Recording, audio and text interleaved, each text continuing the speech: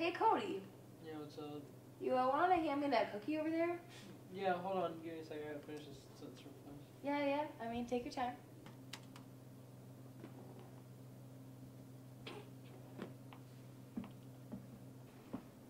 What are you?